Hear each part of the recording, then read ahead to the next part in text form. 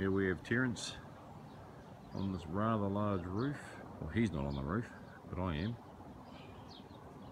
Drying off on that lower level. Just come across here, he shot all this off. Looking good. So still drying off on the lower levels and it's done on the top level.